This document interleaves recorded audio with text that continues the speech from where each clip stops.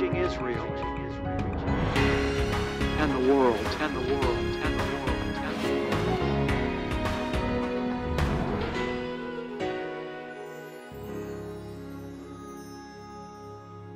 Shalom Yedidim. Yedidim is the Hebrew word for friends.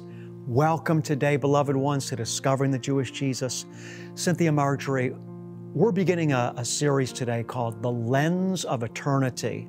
And this has been really one of those messages that has really shaken me. I mean, sometimes uh, the Lord will put something in me, it's, it's powerful. But this is one of those words that the Lord has given me. It's like, it's one of the deepest words. And what we're focusing on is the fact that so many of us, so many of those that are part of God's kingdom, are living for this world. They're living for things that they can obtain in this life. And God is calling us to come to a higher place and recognize it's not about this world. We've been called to live for another age, for the age to come. What's your thought on that? Well, I love the name of it, the lens. It's it, we all look through a lens, and what are we looking through? Are we looking through the lens from God's point of view, and uh, or are we looking from the lens of the world? You know, is it about the glory of this world, or is it about the glory of God and His kingdom and the eternal kingdom that we're all going to? So I, I love the beauty of this message. It's going to be really deep, beloved ones, and God is going to rewire your lives. God wants to lift you and I out of looking to be fulfilled by this world, recognizing this world is not our home. Baruch Hashem, beloved ones, bless the name of the Lord. Shalom Uvracha, peace and blessings to you as we begin a brand new series today that I'm calling The Lens of Eternity. Father God, I pray that as we hear your word, that you would do a transformational work in our soul. Father, that through the power of your Spirit, the Ruach HaKodesh, and the living Word of God, that you would lift us, Abba God, to live in the atmosphere of eternity. And we ask this for your glory, Abba, in Yeshua's name. Amen and amen. Beloved, the words that I'm going to deliver today in this series, truly, if they cut deep, they will change your outlook. They'll change your attitude. You can be lifted to perceiving life in a whole different way. The Lord's been putting this word in my soul. It's so heavy. I just pray that He'll give me the ability to communicate it to you in such a way that it will transform you into the image of Jesus. The Bible tells us that as Yeshua was in this world, so also now are we. And so, in order to be in this world as Yeshua was, we need to think as Yeshua thought. And part of thinking as Yeshua thought is to understand reality, not just from the perspective of the here and the now, but to understand our reality from the perspective of the eternal. Now, what does it mean to have an eternal perspective? What does the word eternity mean? It's a word, beloved, that is so deep and so mysterious that we can touch on it, but we cannot fully grasp it until we see Him face to face. But we're going to make some progress. I want to begin today by sharing with you something that happened in my own life over 40 years ago. I'm not going to tell you the whole dream encounter, but I'm simply going to say this. I had an encounter with the Lord in my sleep over 40 years ago. And after I had the encounter, I was still in the dream state. But in the dream state, when the weight of the encounter was deep inside me, I literally heard the audible voice of God, not through my ears, but I heard the audible voice of God in my inner man. When I say audible, what I mean is I clearly actually heard His voice. I heard the word. So once again, I'm in a dream state and I'm, I'm, I'm seeing eternity. I didn't call it eternity in the dream state, I just saw it. And then after I sought and asked the Spirit of the Lord to come and live within me, the Lord spoke to me the word audibly eternity. And I always wondered about that. The word eternity is not used that much in the Bible. The scriptures tell us, for example, that the Lord has put eternity within our hearts. But we don't have a huge amount of literature in the scriptures to help us determine what the word eternal or eternity means. Oftentimes, when people think of eternity, they think of eternity as a, uh, uh, they define it in terms of a length of time, that it goes on forever. But eternity is more than simply going on forever. In other words, once again, beloved, a lot of times if I ask somebody, what does eternity mean?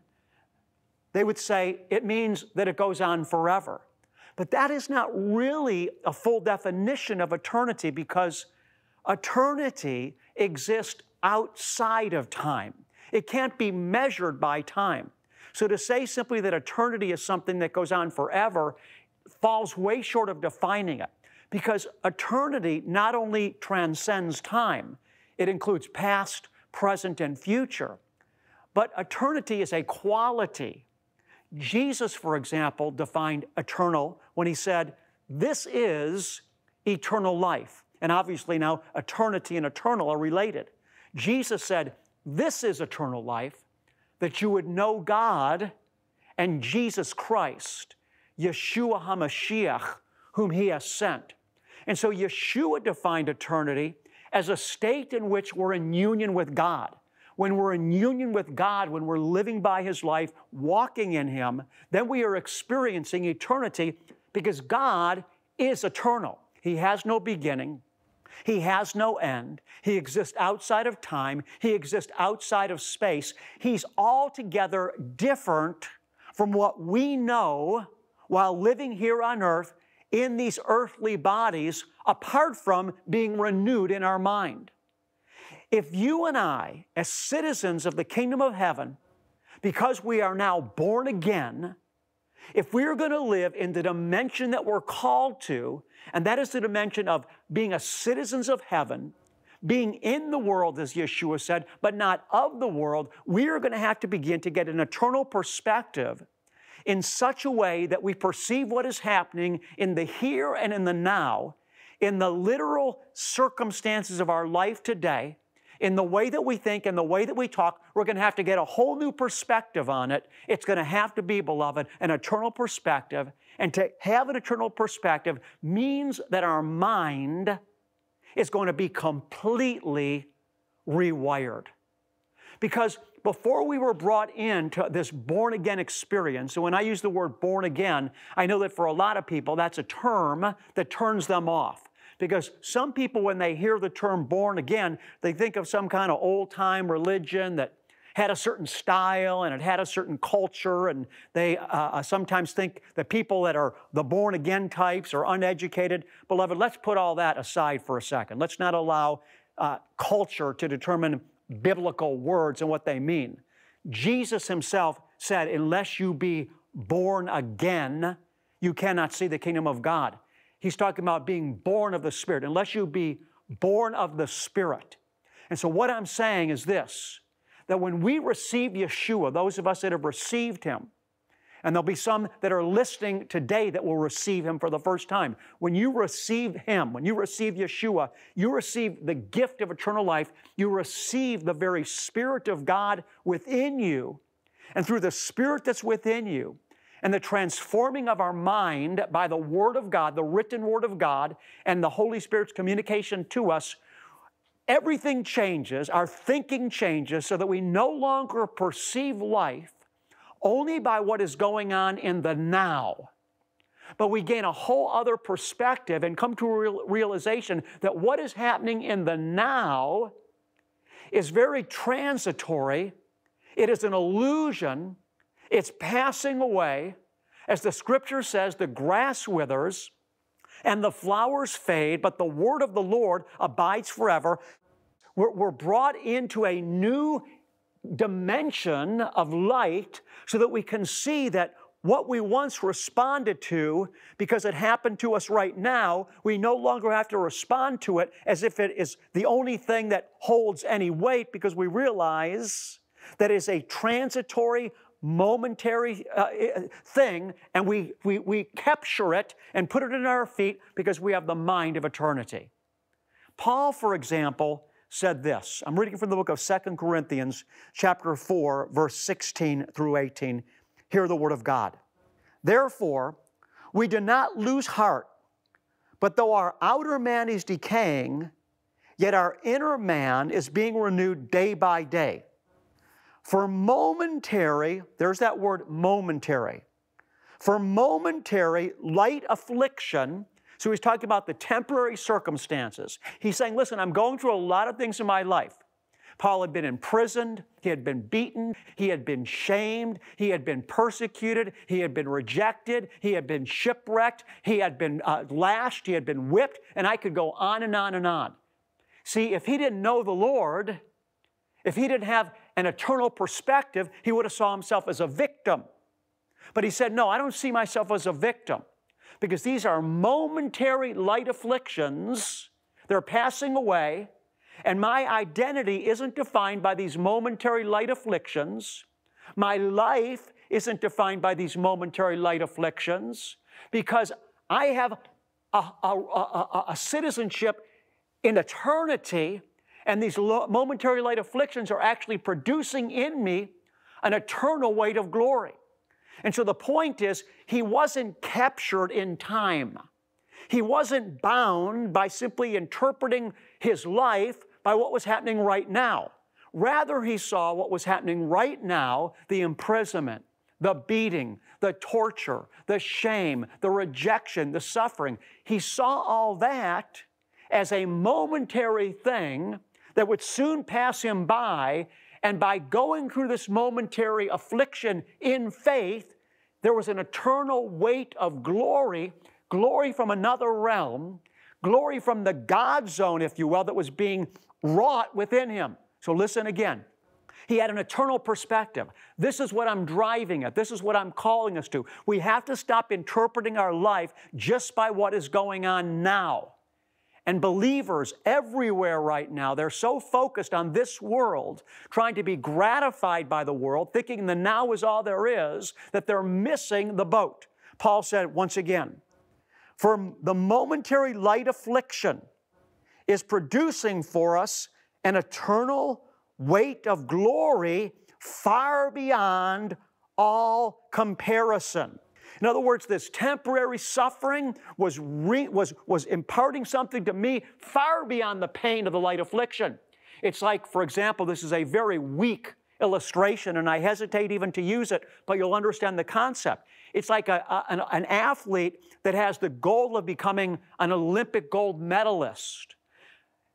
These athletes that are training for the Olympics, they are going through an excruciating training schedule, waking up some of them four o'clock in the morning, training nine hours a day, just, just putting their body through such tremendous, uh, tremendous strain. Their whole body's hurting. Their diet is making them sometimes feel weak. It is such a painful ordeal, but they do it because they know that the temporary pain of training and discipline is not worthy to be compared to what it's going to feel like when they have their hand raised as an Olympic gold medalist. This is how Paul lived his life. Paul lived his life not counting the things that he had to go through that caused him pain to be worthy to be compared to the eternal weight of glory that these things were working in him and the reward that was coming to him when the new age dawns. And you and I need to start throwing off our worldly mentality, thinking that life consists of grabbing all we can from the world in greediness as if this is all there is. And we need to start getting a heavenly perspective. We need to start living with a view to eternity, recognizing this world is not our home. It was never called to be our home. We're in the world, the scripture says, as strangers and aliens, and we need to start living for the age to come.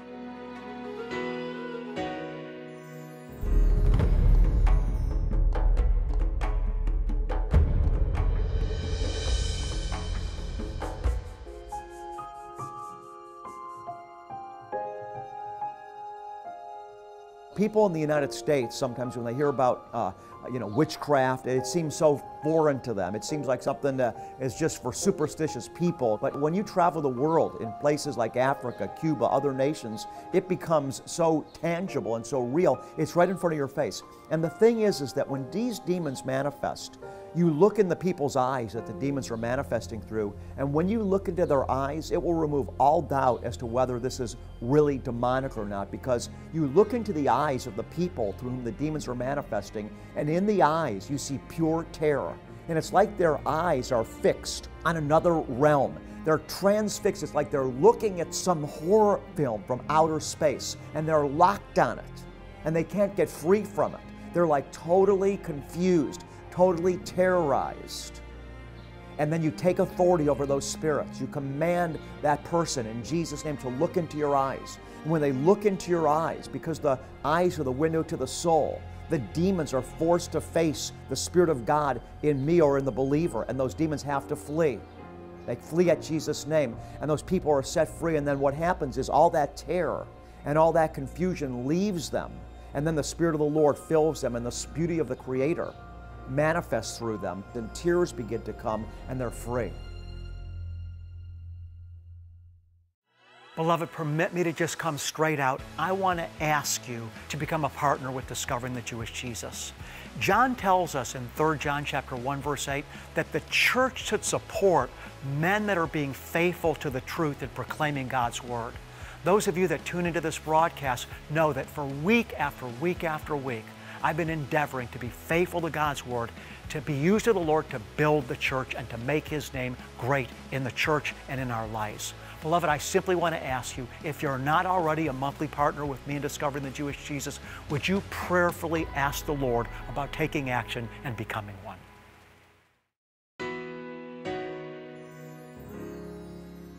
Let's continue on. Paul said, For momentary light affliction, is producing for us an eternal weight of glory far beyond all comparison. Listen to what he says next. While we look not at the things which are seen, but at the things which are not seen.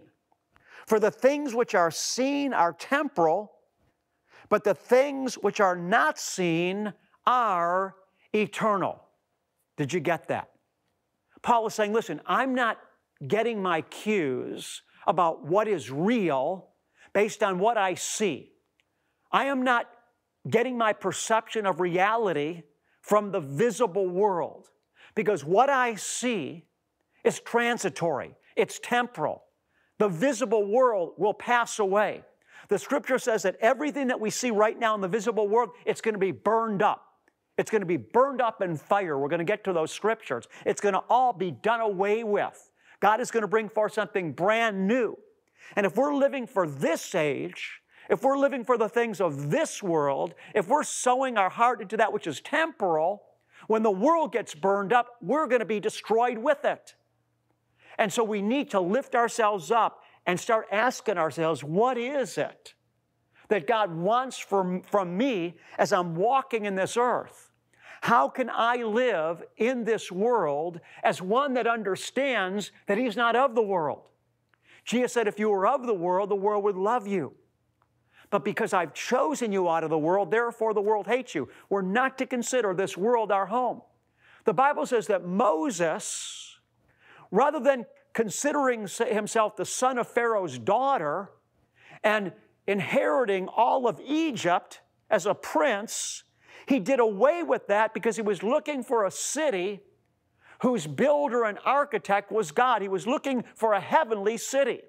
He had everything that the world could offer, but for him, that was not what life was about. It was looking for the eternal inheritance that came from his Creator that was not of this world. Now, as I'm speaking, I know that for some of you, my words are rolling off your back a bit like water off a duck's back you intellectually agree with what I'm saying. Well, let me challenge you, my friend. It's not enough to intellectually agree with what I'm saying. I want to know how what I'm saying is affecting your life. How is eternity and your faith in eternity affecting the way you live today? Are you living in a bubble? Are you just living to protect yourself and your family, to enjoy yourself? You have God over here on the side as a little compartment of your life. You feel like you're a good person because you go to church. That's not what we're talking about, my friends. We're talking about a radical rewiring so that we are consciously living every day with the awareness of eternity, that we are in this world and that this world is not our home, that we belong to God that the purpose of our life is bound up in Him, that every day is a day we're to be overcoming. What do I mean by overcoming? I'm talking about, first of all, personal transformation. That every day we're to be engaged with the powers of darkness, warfaring against them to personally transcend so that we overcome our old nature, overcome the lust of the eyes, the lust of the flesh, the boastful pride of life, so that we overcome personally and more and more have a mind that's been transformed and renewed in the power of the age to come, and we're in the world to be able to bring forth His light as a witness to others. But how can you and I bring forth the reality of eternity and the age to come to others if we're not captured by it ourselves? If we've not been impregnated with the spirit of eternity by bringing eternity into our now, how are we going to impact those around us with the reality of Jesus' second coming and the age to come? Beloved, listen, I want to warn us today. Many of us are saying, Yeah, yeah, I got it. But you know what? You don't have it. You look at your life. How are you living? How are you talking? What are you doing with your money? What are you doing with your talents? How much time are you giving to the Lord so that you could be personally transformed? How much time are we sitting before Him? How much time are we reading Christian literature? It's important to read Christian literature. When John had the vision that uh, was now in our scriptures, which is now in our scriptures, called the book of Revelation, when the angel revealed to John the words that are in the book of uh, uh, Revelation, the word of the Lord came to John and said, Write, write. In other words, the Lord said to John, Write these words that I'm giving to you. God has always communicated with his people through sacred writings. So, my point again is this it's not enough to say, Yeah, I believe. My question is, how has it changed and affected and impacted the way that you're living? How does it impact the way that you relate to your husband, wife, your friends, your children, your grandchildren, your neighbors? How has it radically changed your lifestyles? How has it affected your priorities? What is first in your life? If you're the real deal, you should be getting some persecution and some kickback from the world. Because Jesus said, All that desire to live godly in Christ Jesus will be persecuted. Why? Because those that are living by the power of the age to come, by the power of eternity, are on a radically different trajectory than those that are living by the power of the present age. Beloved, I want you to get this into your soul. We're going to continue in this series and we're going to be here as long as we need to to get totally transformed and rewired so it becomes evident to everyone around us, most importantly to God Himself, that we are not of this world. We are citizens of the kingdom of heaven, and we are living, beloved one, by the powers of the age to come as we wait for the glory of Yeshua to be revealed. Thank you for tuning in today. Beloved, I've been praying that Father God would continue to subject me and that I would cooperate with His subjection and come under the blade of His Word. The Word is living and active and sharper than a two edged sword. And it's ministered to us in the power of the Holy Spirit through Messiah Jesus. In order for this process to take place, I have to be willing to come under His authority. And when we come under His authority, it affects our disciplining of our thoughts, our attitude, our words, everything in life, including how we use our finances.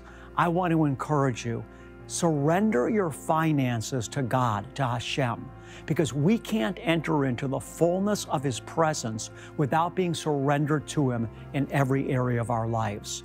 If the Lord is blessing you and feeding you to this ministry, and you feel Him urging you to make a donation to Him through it, beloved, just be obedient. Here's how you can donate or become a monthly partner. Send your tax deductible gift to Discovering the Jewish Jesus, P.O. Box 777, Blissfield, Michigan 49228. Or to give by credit card, visit discoveringthejewishjesus.com or call 1 800 777 7835 or text the keyword rabbi to 45777. To show our appreciation, we'll send you an audio CD and download of Rabbi's Message of the Month and our most recent newsletter. Your gift is bringing salvation, healing, and deliverance to Israel and the world through television, internet, and crusade outreaches. Finally, many of us have honored God with our finances while living, but have we considered how we can honor the Lord with our finances when we pass on? For more information, click Will and Estate Gifts at discoveringthejewishjesus.com. In the book of Numbers, chapter 6, the Lord gave instructions to Moses and Aaron to speak this blessing over his people. And the Lord said, When you speak these words over my people, I will place my name on them and bless them. Receive the impartation of the Lord's blessings. Yavarechecha Yahweh vayishmarecha Yair Yahweh panav elecha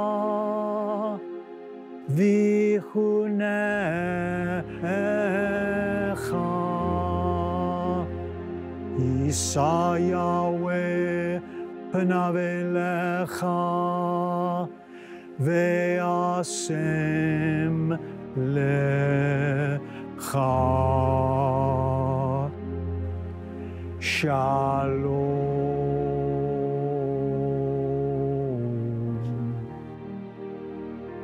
The Lord bless you and keep you. The Lord make his face shine on you and be gracious to you. The Lord lift you up by his countenance, and the Lord give you, beloved one, his peace. God bless you and shalom. Revelation today for a brighter tomorrow. Find Discovering the Jewish Jesus on all your favorite social media outlets and stay up to date on the content you love. Follow us on Facebook, Twitter, Instagram, and subscribe on YouTube. Connecting with Discovering the Jewish Jesus has never been easier. If two of you agree on earth about anything that they may ask, it shall be done for them by my Father who is in heaven. Let our prayer team pray for you. Send us your prayer request today by visiting our website or writing to the address on the screen. Our prayer team lifts up every individual request before the Lord. And then, as God answers your prayer request, or if God has touched your life through discovering the Jewish Jesus, send us your testimony. We want to rejoice with you, and your testimony will encourage others. We overcome by the blood of the Lamb and the word of our testimony.